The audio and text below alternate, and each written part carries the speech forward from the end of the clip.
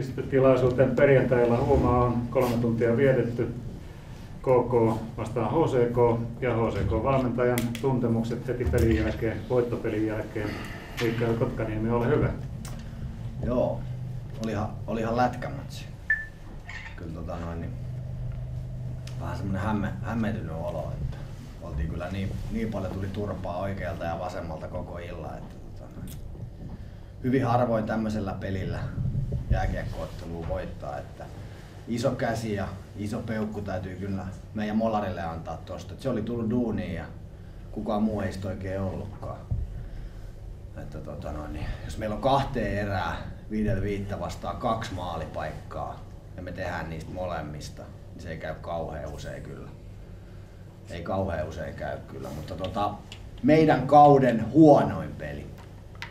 Ihan ehdottomasti ihan täydet pohjat, joka on tota, hyvin, hyvin käsittämätöntä. Mä en tiedä missä meidän valmius oli tähän peliin, koska noin paljon virheitä tämmöiseen, tämmöiseen tota noin, niin vielä hävittiin Sapkolle tossa ja puhuttiin moraalista ja niin poispäin, valmistautumisesta, syöttämisen merkityksestä, oman pään puolustamisen merkityksestä, niin, tota noin, niin en tiedä oikein mitä tapahtui. Täytyy selvittää.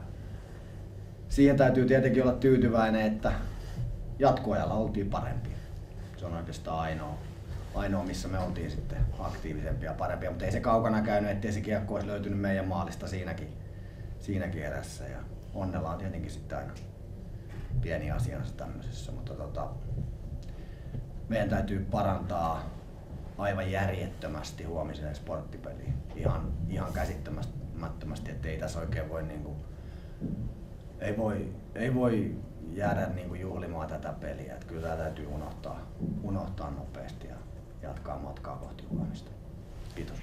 Kiitos Mikael ja sitten Juha Juppe Juujärvi, vähän no, pettyneen oloinen mies. No totta kai, mutta tota, tietysti onnittelut kollegalle HCKlle voitosta ja rehellistä analyysistä pelistä, että turhaa se on niin kuin yrittää puhua mustaa valkoiseksi tai toisinpäin, että kyllähän me oltiin tänään niin kuin pelillisesti niin tänään, mä korostan nimenomaan tänään ja sitä mitä niin kuin sanoin tuosta HCK-pelaamista, me oltiin kaikilla niin kuin mittareilla, paitsi lopputuloksen osalta, niin kaveria eellä, mutta tota, meidän pitää olla myös rehellinen sitten pelin lopputulokselle, että silloin kun paikka naulata, niin silloin pitää naulata ja, ja, ja kolmellakin maalilla pelin pystyy kyllä voittamaan, jos kaverille antaa noin vähän paikkoja, mutta tuota,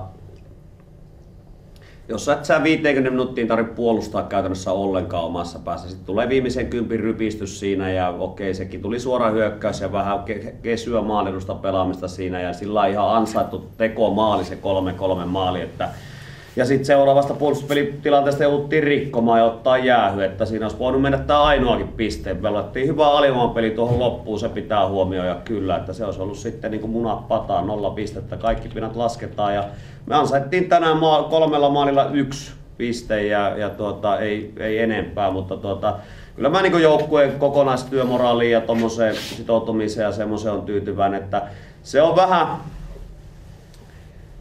ketkä niin kuin sisältäpäin lajia tuntee ja varmaan yleisökin, jotka on paljon pelejä kattonut, kun sä et itse tee, niin sä pelko hiipeet jossain vaiheessa kosahtaa ja tuota, maalivakin kannalta erittäin vaikea peli, kun ei laukauksia tule käytännössä ollenkaan aluksi ja sitten kun tulee, niin on huippupaikka yksi tai kaksi per erä ja tuota, Tota, tota, niin se pelirohkeus lopussa sitten jatkoerässä niin oli vähän semmoinen, että me ei oikein tiedä, että hyökätäänkö me vai puolustetaanko. Ja oikeastaan sitä yhtä hyvää vaihtoa lukuottamatta me ei kumpaakaan. Että justiin väleissä ja tämä viimeinen maali, niin tämähän oli niinku emämunaus. Meidän, meillä oli siinä, me oli välillä kolme hyökkää ja yksi pakki, että haetaan rohkeasti voitto, mutta tota, ja ollaan niin pelirohkeita, mutta sitten pelattiin kahdella pakilla, kahdella hyökkäällä se vaihto ja ihan käsittämätön koomailu kahdella nollaa vastaan ne pakit päästään, niin eipä siinä jäänyt sitten jossiteltavaa jatkoerän paremmuudesta, mutta tota,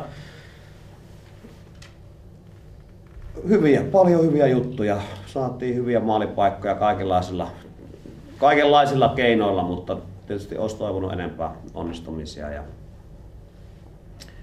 jaksetaan tehdä hommia, niin, niin, niin tulostakin tulee, niin kuin nyt on huomattu, että meillä on kuitenkin hyvä vaihe tässä menossa pelaamissa. Tosi kova viikko tulossa, että kärkijoukkoita tutoja, kaksi kertaa jukurit ensi viikolla ja, ja tuota,